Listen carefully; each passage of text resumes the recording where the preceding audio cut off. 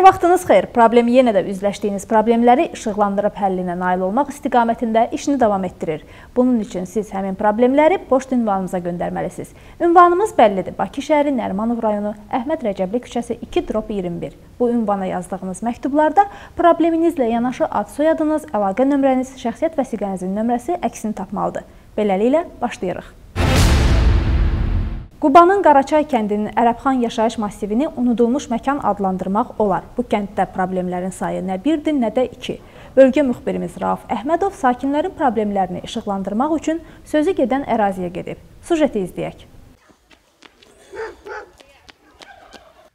Qubanın Qaraçay kəndinin Ərəbxan yaşayış massivindəyik. Əslində buranı unudulan məntəqə də adlandırmaq olar. Çünki 30 il öncə salınan yaşayış massivinin nə qazı, nə yolu, nə də orta məktəbi var.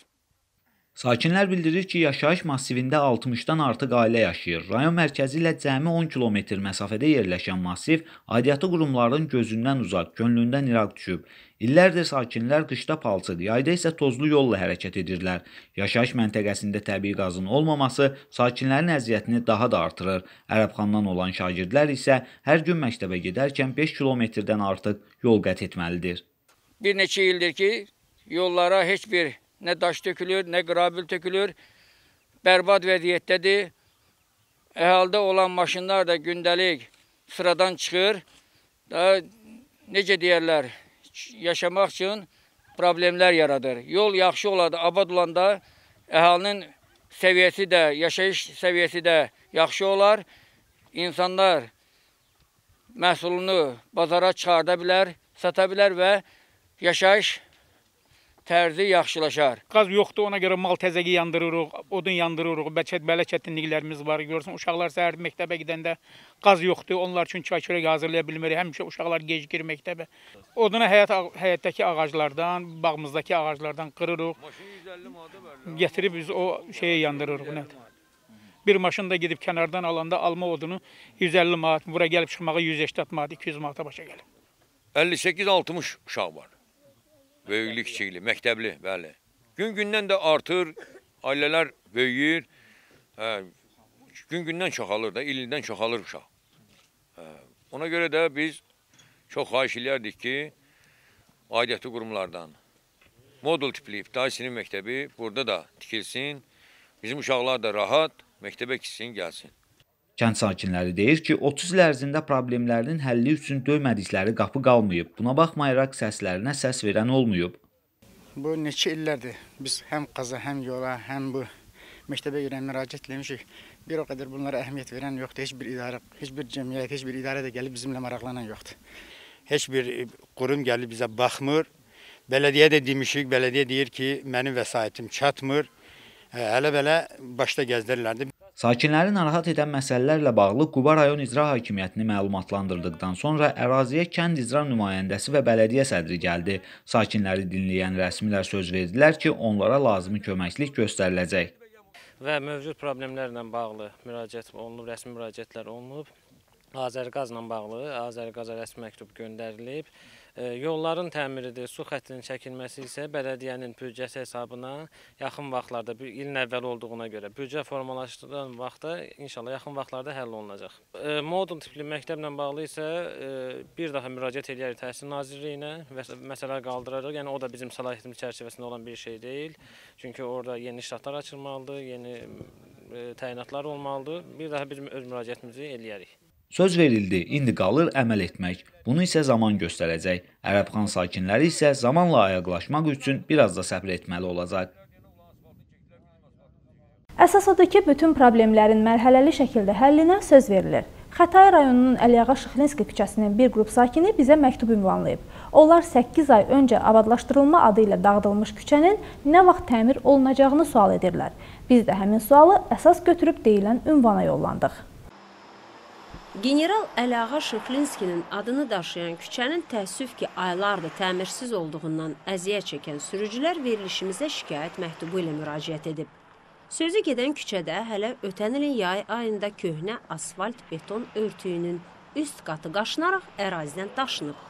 Rayonun yol infrastrukturu baxımından işlək küçələrdən biri olan bu yolun uzunluğu 3 kilometr təşkil edir. Bir neçə küçə ilə birləşdiyindən, həmçinin 264 və 204 saylı məktəbin də məhz bu ərazidə yerləşdiyini nəzərə alsaq, yolun təmirsiz olması həqiqətən də buradan keçən istər sürücülərə, istər sakinlərə böyük əziyyət verir. Küçə boyu yeni səki daşları düzülsə də, piyada səkilərin asfaltlanmaması yağışlı havada buradan keçməyi lap arzu olunmaz edir.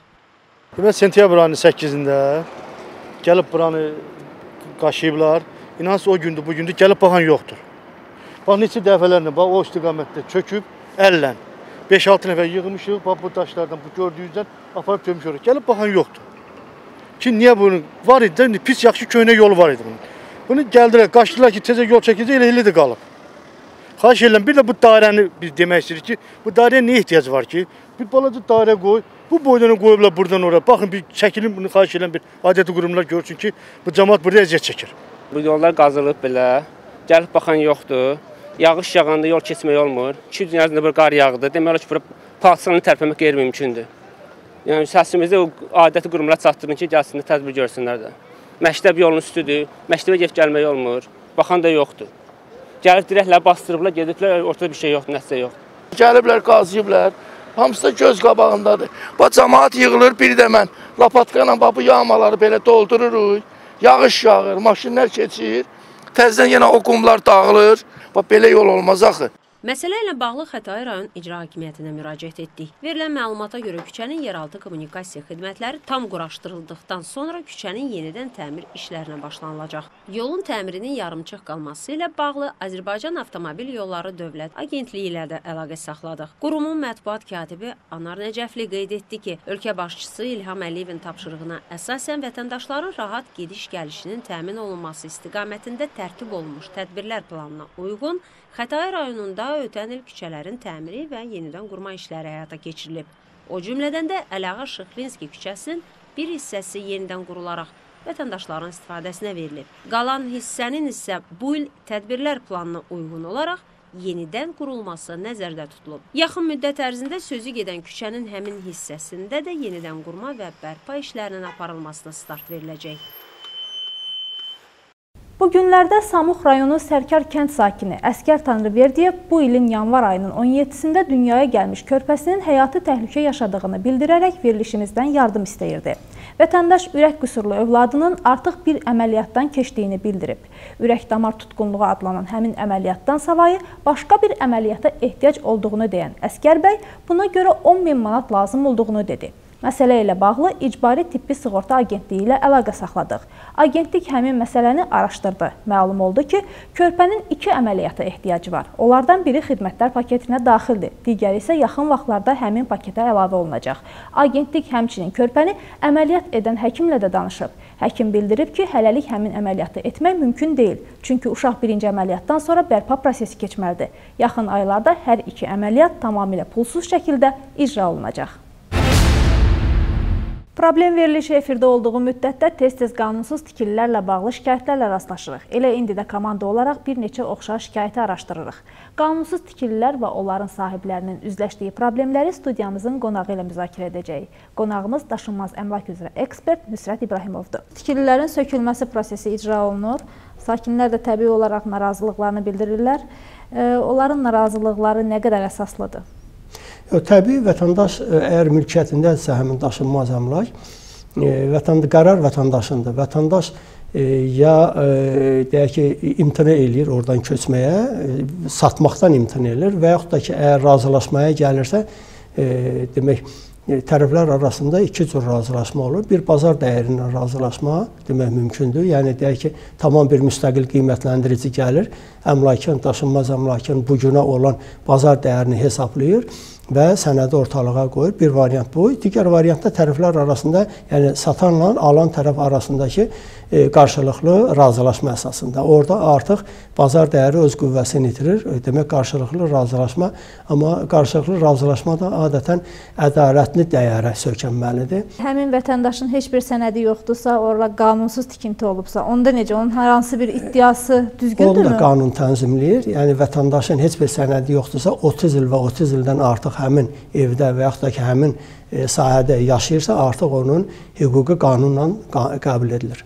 Yəni orada da onun bazar dəyərindən çıxış eləyərək qarşı tərəf ona ödəniş eləməlidir. Bazar dəyəri dediniz. O necə tənzimlənir? Konkret ərazilər üzrə konkret rəqəmlər, qiymətlər bəllidir. Bazar dəyəri altındakı torpaq sahəsi, üzərindəki bütün yaxşılaşdırmalar hamısı bazar dəyərinə daxil edilir və bir də ki, bazar faktorlarının həmin dəyəri olan təsiri hesablanır. Məsələn, deyək ki, e, elə ərazi var ki, tikintinin özünün dəyəri demək olar ki, yoxdur, amma yerləşdiyi ərazidən asılı olaraq, o aktivliyi həcmindən asılı olaraq qiymətlər xeyli şişirdilə bilir. Amma elə ərazidə var ki, məsələn deyək ki, üstündə çox gözəl bir e, böyük bir e, yaşayış evi tikilib, villa tikilib, amma onun dəyəri yoxdur, çünki yerləşdiyi ərazi bir o qədər də əhəmiyyət kəsb eləmir. Müstəqil e, qiymətləndiricilər, qiymətləndirmə şirkətləri bu gün Bakıda fəaliyyət göstərir. Yəni bizim Azərbaycan qiymətləndirmə cəmiyyətinin nəzdində 37 qiymətləndirmə şirkəti artıq yəni fəaliyyət göstərir ölkə üzrə. Həmin qiymətləndirmə şirkətlərinin hərəsinin ən azı 3 qiymi sertifikatlaşmadan keçmiş 3 qiymətləndiricisi e, demək müqavilə əsasında fəaliyyət göstərir. Həmin qiymətləndiricilər e, demək daşınmaz əmlakların qiymətini, yəni bazar dəyərini hesablayırlar və müstəqil bir e, ekspert kimi hesablayıb e, demək istehlakçıya təqdim edirlər. Bizim işıqlandırdığımız sujetlərdə də belə bir hal olub. Çoxluq həmin MTK-nın şərtləri ilə razılaşıb çıxıb, yalnız bir neçə sakinə görə bina qalıb. Olmazmı ki, bu hallarda çoxluq prinsipi nəzərdə tutulsun, digərləri də tabe olsun ona? Təbii vətəndaşlar bəzi hallarda düzgün qərar qəbul eləmirlər. Yəni məsələyə e, düzgün e, yanaşmırlar və yaxud da ki, məlumatın qıtlığından düzgün qərar qəbul eləmirlər. Hesablayırlar ki, hə burada e, mənim evim bir mərtəbəlidir, e, yəni torpaq üzərində yerləşir. E, tikinti şirkəti də həmin e, birinci mərtəbədə obyekt tikəcək, onun bir kvadratını 4000-ə, 5000-ə, 6000-ə satacaq. Ona görə o pulu mənə ödəsin. 4000, 5000, 6000 mənə ödəsin. Amma bəzən yaddan çıxardır ki, torpağın özünün bazar dəyəri var. Yəni torpaq özü necə, bazar dəyəri necə hesablanır?